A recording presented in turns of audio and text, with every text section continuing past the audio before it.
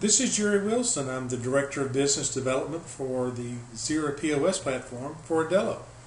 In this video, we're going to look at how you can use the Aldelo Back Office Cloud to add an item to a menu in just three easy steps.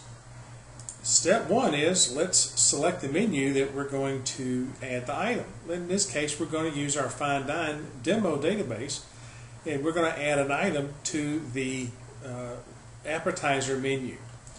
So let's go down to the POS Cloud. This is the dashboard, and from here you can use the drop down to go to the menus, or you can use these shortcuts on the side here and go straight to the menu section here. We're going to select the Fine Dine menu, and then the appetizer menu within that. And this is the one we're using. This is the same layout you saw earlier on the screen. Let's say we're going to add a bruschetta. So let's click the, the button where we're going to add it. Go here and now type in bruschetta. And there it is in our database. Now, that's step two. We've now added the item to the database. And step three is simply hit the save button. Now what we've done there is now on the next synchronization to the store, that's going to be downloaded to the database at the store level, and then the next time the servers access the appetizer menu, that button will be available to them. That synchronization generally takes takes place less than a minute, so it's really really fast. But what if the item is not in the menu or not in the database? Well, you select the same button, the button that you're going to add, and let's say we're going to add a, a new item called gator tail. Let's make sure that that's not in the database, and it's not. So now we hit new. We're going to add the description. It is a product.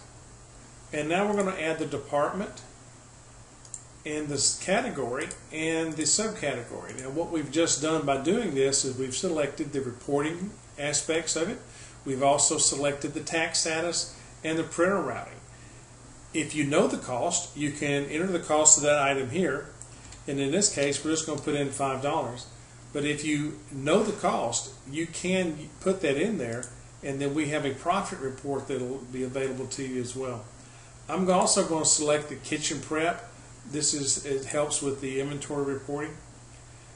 I'm going to select the product type and where on the receipt I'd like it to print. And of course then the price of the item and the minimum markup that I'd like to obtain. Once I have hit the save, it now makes that available to me. There it is. Select the item, hit select, and now we've added that item to the menu.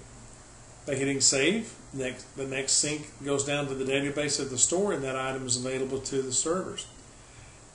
Using the Aldelo POS Cloud, makes this a very easy, easy way to address your database from uh, anywhere really on the planet. It's available, Aldelo POS Back Office Cloud is available for all Aldelo POS platforms. That would be Aldelo POS, Aldelo Touch, and XERA POS. If you're using the Aldelo Touch platform, there is no charge for the Aldelo back office cloud is, is included. And of course, you can connect to your database without the need for a remote login software. You just simply go to any internet browser, use your username and password, and you can access your database. Aldelo Back Office Cloud is available from your local dealer.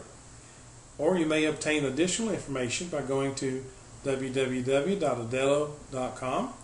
If you do not know your local dealer, Call 800 801 6036 and our inside sales team will help locate your dealer for you.